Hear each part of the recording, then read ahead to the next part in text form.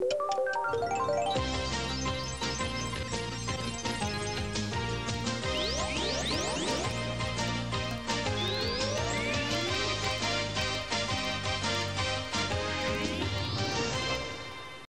L'Ordine dei giornalisti pugliesi esprime solidarietà completa ai colleghi della notiziaweb.it e di un'altra testata locale di Cirignola nel Voggiano che sono stati oggetto nei giorni e nelle settimane scorse di feroci attacchi ed insulti da parte del movimento politico La Cicogna che con il suo candidato Franco Metta è in ballottaggio per le amministrative del prossimo 14 giugno.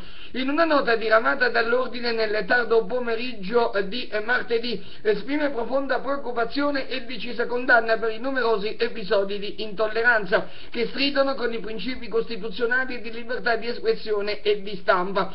Dunque non è solo il movimento politico La Cicogna che è oggetto di questi attacchi inusitati, ma anche altri. Alla luce di questi episodi lo stesso ordine dei giornalisti e pugliesi si farà promotore nelle prossime settimane di una iniziativa pubblica dove saranno affrontati i problemi del lavoro giornalistico nella provincia di Foggia.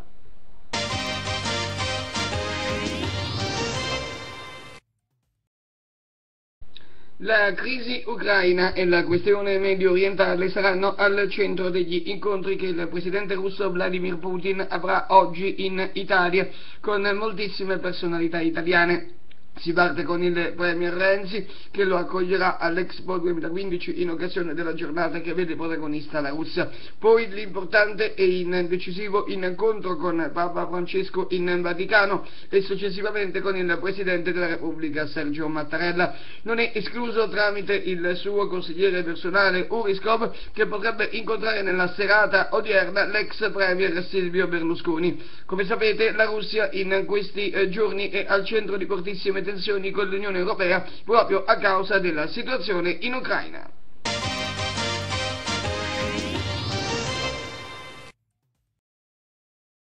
Dopo un anno fra i cadetti il Bologna ritorna in Serie A. La formazione Versinea guidata da Deli Rossi ha pareggiato eh, martedì sera 1-1 contro il Pescara nella gara di ritorno della finale play-off disputata allo stadio Dallara. Il vantaggio della formazione Versinea è arrivato intorno al primo tempo grazie alla rete di Sansone. Nella ripresa per gli abruzzesi ha pareggiato Pasquato. Finale in tensione per i padroni di casa per l'espulsione di Mbaye mezz'ora dalla fine. Nonostante il forcing della formazione abruzzese, la formazione del Bologna dunque è la terza squadra a salire in Serie A. Un risultato prestigioso grazie ad una cordata statunitense e canadese che ha dato speranza ad un popolo che pensava di non tornare più nel calcio che conta.